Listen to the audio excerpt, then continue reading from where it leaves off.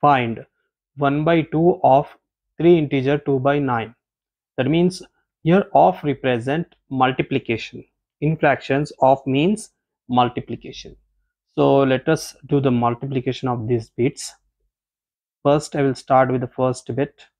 There is 1 by 2 of here of can be written as into 3 integer 2 by 9 first we will convert this mixed fraction into improper. 9 3s are 27 27 plus 2 is 29 by 9 so 29 ones are 29 by 2 nines are 18 18 ones are 18 so how much left? 11 so this is our first bit.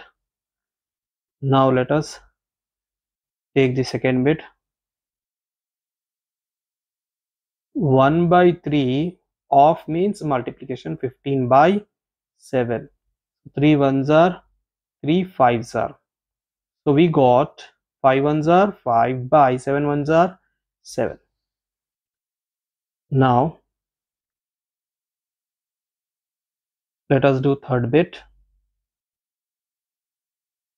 1 by 3 of 3 integer 2 by 9 so 1 by 3 into 9 3s are 27 plus 2 29.